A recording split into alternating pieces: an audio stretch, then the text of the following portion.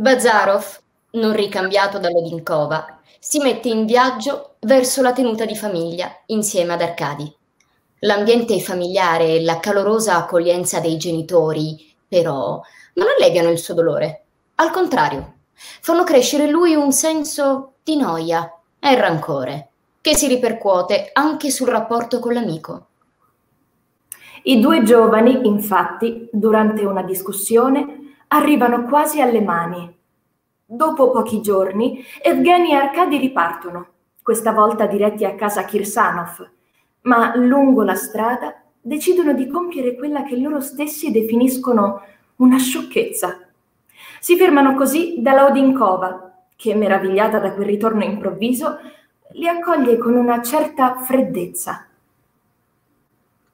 Katia, la sorella, non si sente bene e non si fa vedere, con grande delusione di Arcadi. Trascorse poche ore di chiacchiere di circostanza, riprendono il viaggio verso casa. Da quel momento nessuno dei due nominerà più Anna Sergievna. Arrivati a Marino, Arcadi non trova pace e sente che qualcosa lo chiama da lontano. Decide allora di recarsi nuovamente a casa delle due donne, spinto dal desiderio di rivedere Katia, con la quale ha avvertito fin dal primo momento una grande affinità.